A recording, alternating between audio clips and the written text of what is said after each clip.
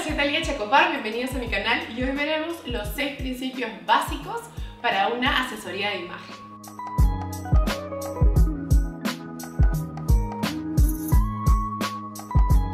Hola, ¿cómo están? ¿Qué tal? Bienvenidos a mi canal YouTube donde siempre hablo de moda y de tendencias. Hoy veremos un tema que me fascina, la asesoría de imagen. Existen principios básicos que debes de tener en cuenta, ya sea para asesorarte a ti misma o asesorar a otros. Repasaremos los seis puntos de manera introductoria para no hacer tan largo este video. Primer punto, el branding personal. La asesoría de imagen principalmente funciona para hacernos relucir. Es un branding personal. Eso quiere decir que definen nuestra marca, quienes somos nosotros, antes de explicarlo y empezar a hablar frente a una persona. La moda es eso, nos describe sin decir ni una palabra. Por eso es importante que cualquier asesor de imagen o uno mismo tenga en cuenta la personalidad o lo que quiere comunicar su cliente. O uno mismo lo que uno quiere comunicar a través de todo, de sus expresiones, de cómo luce, de su forma de hablar.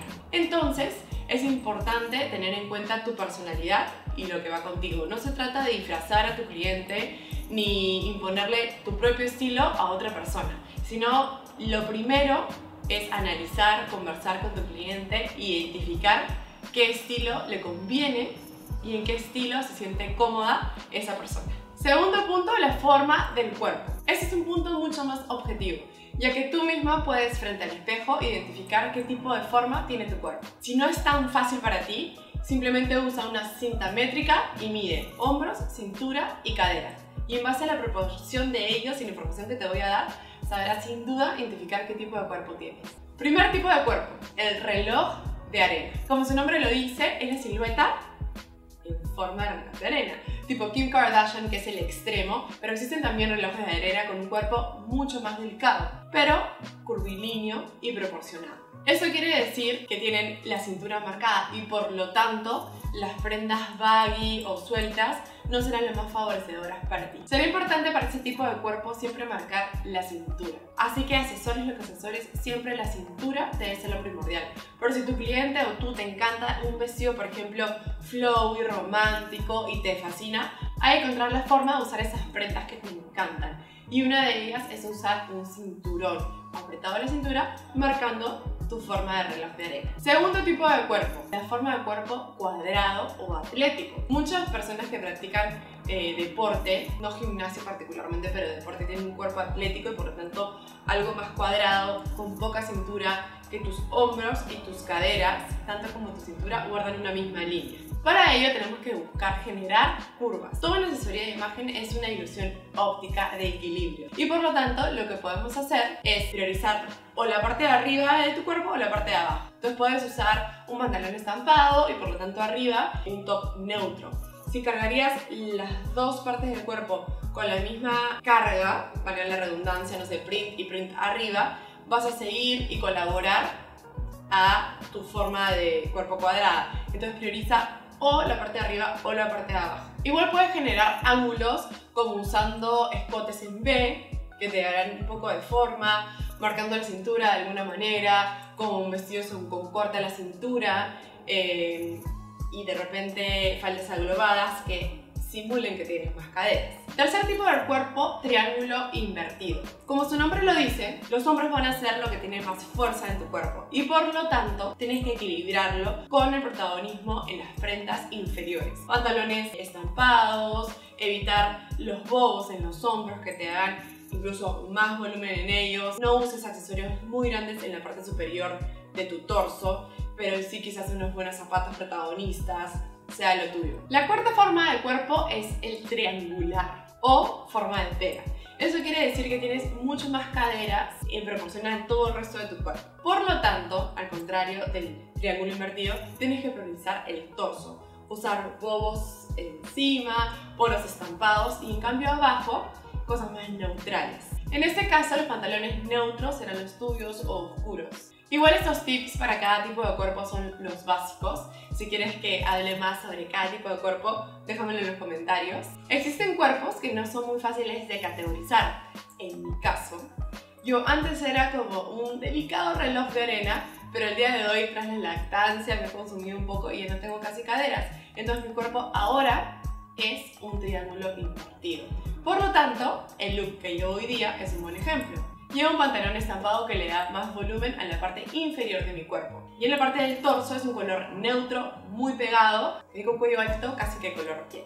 Tercer punto importante a tener en cuenta es la colorimetría. No hay mejor herramienta que el color para vernos mejor o más pálidas o más vivas. Entonces es importante analizar qué tipo de color tienes, ya sea cálido o frío. Y entre los cálidos y los fríos, qué tipo de estación eres, otoño, invierno, verano o primavera. Aquí te voy a ayudar a identificar qué tipo de estación es la que eres tú. Todos nacemos con inclinaciones de colores favoritos y aunque no lo crean, ese instinto tiene razón. Pero cuando somos niños nuestras mamás deciden qué color ponernos, de repente son los colores que les quedan bien a ellas o sus colores favoritos, sin realmente tener en cuenta qué tipo de piel tenemos o qué tipo de combinación de colores tenemos innatamente. Pero el color que lleves, verás que es básico para que te veas bien. Hay dos puntos para empezar esta prueba. Primero, analiza el color de tu piel, de tus ojos y de tu pelo. Y segundo, analiza qué colores repites por lo general en tu guardarropa. Ojo que el negro no vale, porque ese es un, como un recurrente cuando no sabemos con qué combinar, todos nos vestimos negros, así que el negro no vale. Anda a chequear tu clase. Te voy a dejar una lista de colores cálidos y colores fríos en dos columnas distintas. Léelas con paciencia, analízalas y mira cuál de las dos columnas va más contigo.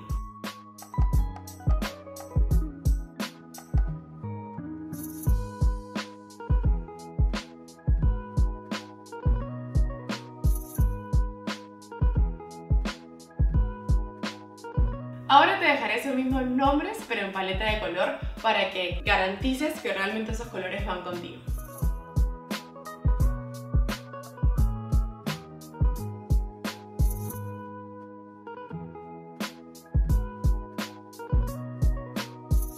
Ahora que tienes tus paletas de colores favoritos, vamos a ver si realmente van con tu tipo de piel. Y es que el tono de tu piel no es tan fácil de identificar, pero te voy a decir tu piel está compuesta por tres tipos de pigmento. La melanina, que son los tonos marrones, caroteno, que son los tonos amarillos, y hemoglobina, que son los tonos rojos. Entonces hay que ver qué tono es el que tienes más fuerte. Los tonos fríos tendrán más presencia de azul. Tu piel tenderá a verse más azul, mientras que las pieles cálidas tendrán más fuerza de amarillo o dorado.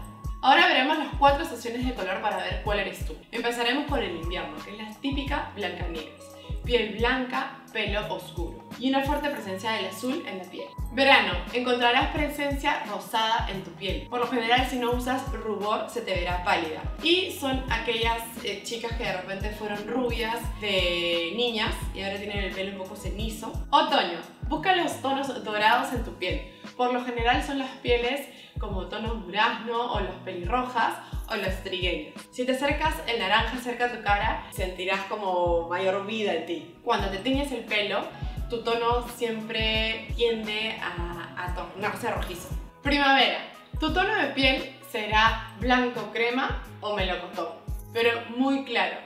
Las que tienen pequitas o los cachetitos rosados es típico de la primavera. A diferencia con las de otoño, por lo general las de primavera tienen los ojos un poco más claros Puedes tener el pelo rubio, cobrizo o dorado. Pero recuerden que cuando les digo el tono del pelo es el tono del pelo original, o sea, sin tinte. Pero bueno, estas son las cuatro estaciones de color. Vamos a ver con qué se identifican ustedes. Pero es solamente como una introducción. La colorimetría es todo un mundo que si lo dominas puedes crear looks que realmente te aporten. Si bien yo tenía nociones de colorimetría, Mimi Burstein, con quien, la experta con quien hice el video del styling de mi closet, realmente me confirmó mi paleta de color.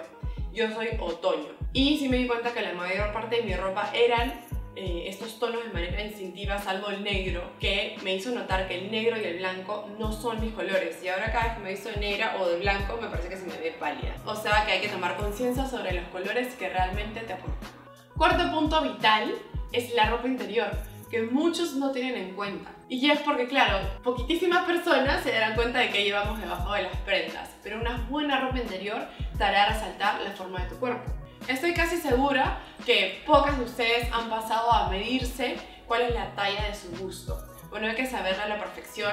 En eh, las de Victoria's Secret cada vez que viajo vuelvo a pasar porque realmente te lo dicen cuál es el sostén adecuado para tu contorno, eh, incluso el ancho, largo y todo de, de tu busto porque no hay una talla generalizada, no hay muchas variables. Igual también hay que tener en cuenta eh, que un buen sostén que tenga las tiras eh, removibles o que se puedan adaptar y cruzar es el ideal que tienes que tener, sobre todo en color piel y que no se marquen mucho la forma del sostén. Si bien los sostenes de encaje son lindísimos, pues yo creo que optaría por los lisos para que no se vean a través de, de las texturas de tu ropa. Lo mismo pasa con las truzas o calzones que le hicimos acá en Lima. Tener siquiera algunos sin costuras es ideal. O cuando lleves un vestido, tener una faja calzón para evitar que se transparente la forma del hilo o la forma del calzón clásica. Muchas de ustedes pueden optar por el hilo, pero se ve entonces yo preferiría una fajita que nos agarre todo, como pantaloneta hasta la rodilla y dirán que la chica no tiene ropa interior, pero sí, solamente que está todo sujeto.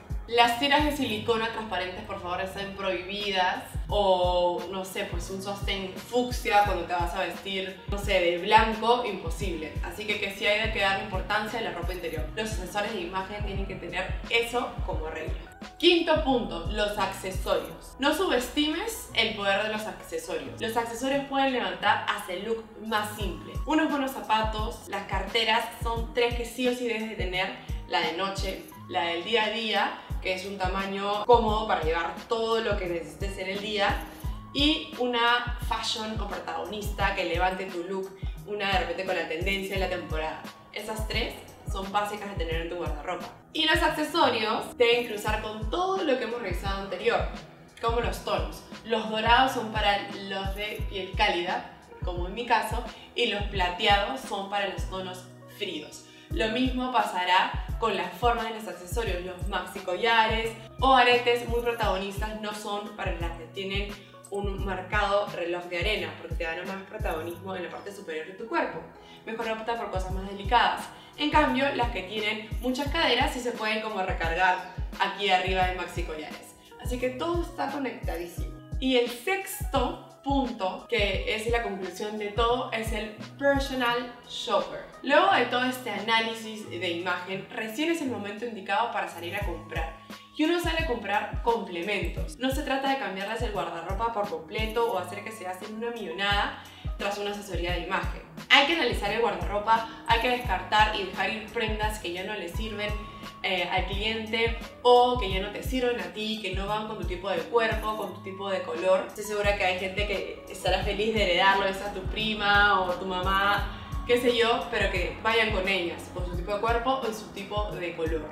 Haz una lista de las cosas que te faltan, los complementos que debes salir a comprar. No vayan a comprar sin una lista o sin una idea clara de lo que hace falta. Hay ciertas prendas que de repente tu cliente nunca se llegó a poner y que le encantan, ayúdalas a complementarlas, llévalas incluso en una bolsa y entra con ellas al probador con complementos posibles y que se vea ella misma y enséñale a cómo combinar en tienda. Si tiene alguna duda de que si un pantalón le queda bien o no le queda bien y no se anima, anímale a probárselo. Entren con de repente las 5 siluetas de pantalones, pitillo, acampanado, recto y haz que se le prueba frente al espejo para que ella sola se dé cuenta que le queda y que no le queda bien.